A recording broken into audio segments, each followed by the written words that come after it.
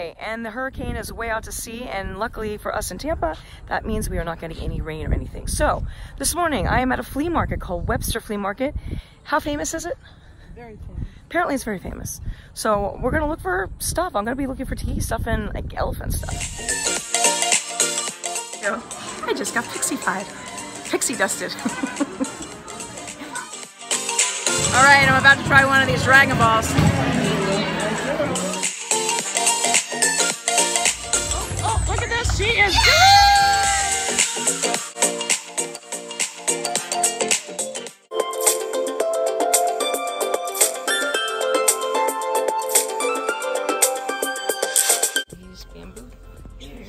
Chairs.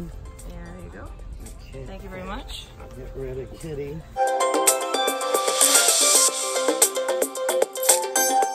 I think we did really good. So those two bamboo chairs I actually bought. I got the girl down to $30 for two. I just went on Etsy and found the same exact chairs. They are made in the 60s. They're called vintage bamboo chairs. And on Etsy, six chairs are going for $500. And I just got two chairs for $30. So I think I pretty much hit the jackpot today. And I'm very excited. Sticks. Just found some sticks.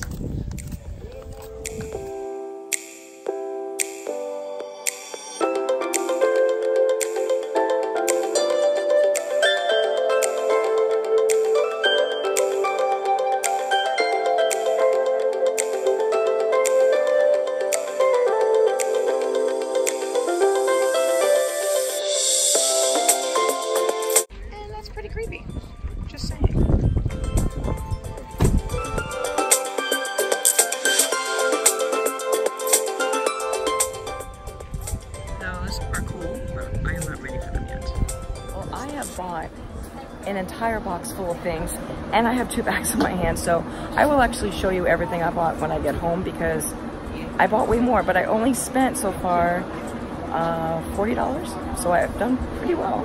This is an interesting find. Apparently it's from the late 50s and it's got like flowers and fake turf in the middle and it's like a I want to bring it to work and just like you couldn't. It's a fabulous find.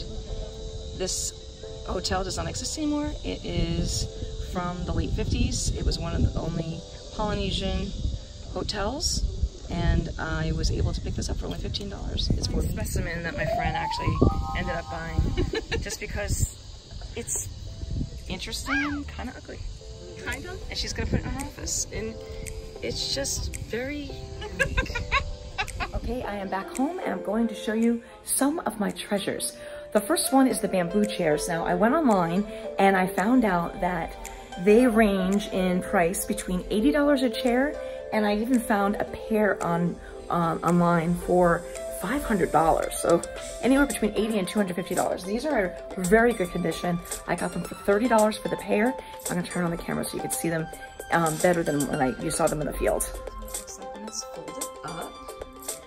And again, I got two of them, so I only need to show you one. Look how gorgeous that chair is. It's in amazing condition.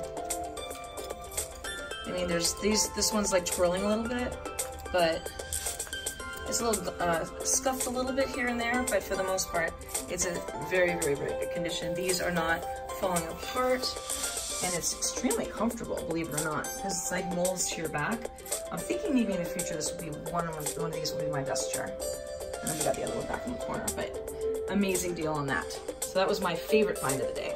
Next up is china that I found. These men were trying to get rid of all this china that they had, and they gave me 11 pieces, including a ceramic cat, for five bucks. So I will be putting these on eBay. I will put the link below if you're interested in any of them, but there's Wedgwood, there's stuff from China. I went with all blue and white. So for some reason I don't sell it, it's not bad because I happen to like the blue and white China, but I'll turn it around and I'll show you what I got.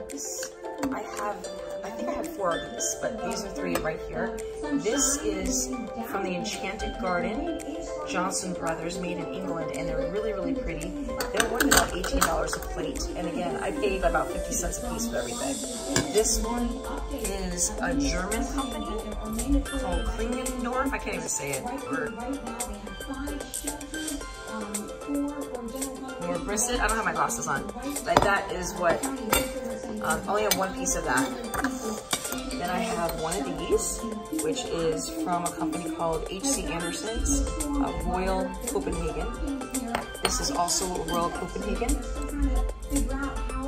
Lot Vallow Castle. I'm guessing it might have been a, uh, a visit to a castle in 1987. So um, I'm probably gonna start all the bidding at four dollars for all my pieces. So I was following another girl on um, on here on YouTube, and she seems to do that. This is I have four of these little cute little cups. They're made in Japan. Uh, China that's made in Japan is usually worth something. I haven't been able to find these online yet, so I need to do some more research on these. All these other ones I was able to find online.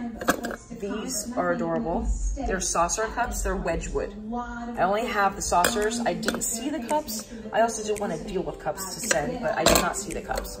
But these are saucer plates, and a lot of people sometimes need replacements. So I got these.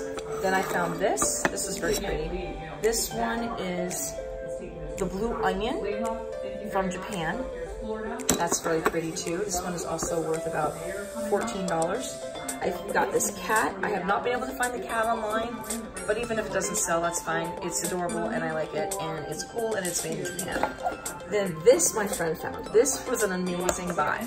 So apparently there's a company called Limoges that makes these trinket box, boxes. So she saw it to me, she goes, Wendy, it's Limoges. I'm like, okay. And I love pineapples. So I said to the man, how much? And he said a dollar. I'm like, okay, so I bought it. Well, when I got in the car on the way back, I looked this up. I am not selling this one. This is for $125 in immaculate condition, and I paid a dollar. I'm not getting rid of this because I really like it. Then I bought some Stephen King books. They were uh, the whole, all of the books were, including this one, were two bucks. So um, I've been reading more lately, so I'm gonna go back to Stephen King after I finish another the romance novel. So that was a good deal. Another one of my favorite finds today was this sign. The man wanted originally $30, I got him down to 15 and I looked up the name of this motel. It is, a, it still exists, but its name's changed. It was uh, one of the only Polynesian um, hotels in this area back in the 50s and 60s. So I'm very excited about the sign. I will be framing this and putting it into my tiki room when I eventually do that, probably in a year time. I'm making a tiki room. So I went to a table and I love swizzle sticks and I haven't even gone through. I have no idea what is in here. There could be gems, there could be nothing. I'm, I have no idea. I'm going to be keeping most of these for myself. Um, a girlfriend of mine also collects swizzle sticks, so I'll probably be split, splitting the bag between the two of us. So I'll be this entire jar along with this bag for only $3. So again, I need to go through and find what's in here. Looks like a Monopoly guy. And then decide which ones I'm keeping and which ones I'm giving to my friend. And then um, if I don't, oh, this one's cool. This is from Hawaii, and I've been to Hawaii. Um, so whatever I don't like or don't give to her, I'll, maybe I'll put up. But um, I really do like swizzle sticks. I just think the history behind it is just so cool. And a lot of these are, are definitely vintage, and I will definitely, oh, look at that one, it's a giraffe. So I will be looking through these and figuring out what's there. I forgot I bought these. They were just in the bag. So all of these for $3. Okay, the last thing that I got, I saw on a $2 table and I looked at it and I'm like, gosh, this is really cool. And then I looked at it and it says mid-century modern shaker and it comes with the top. So I got this for $2. I haven't even really taken a good look at the recipes on it, but it's got like all the cocktails from the 50s and 60s on it. This was an amazing find, and this will go into my tiki room when it gets put together, probably in a year. So that is my finds for today. And that, my friends, is a wrap. It was a really fun day. I recommend going to Webster Flea Market. They're only open on Mondays. So it's about an hour north of Tampa and it's an easy ride right up to 75. Well, thank you for tuning into the wonderful world of Wendy. Don't forget to hit the subscribe button below, give me a thumbs up, and I'll see you on my next adventure. Bye.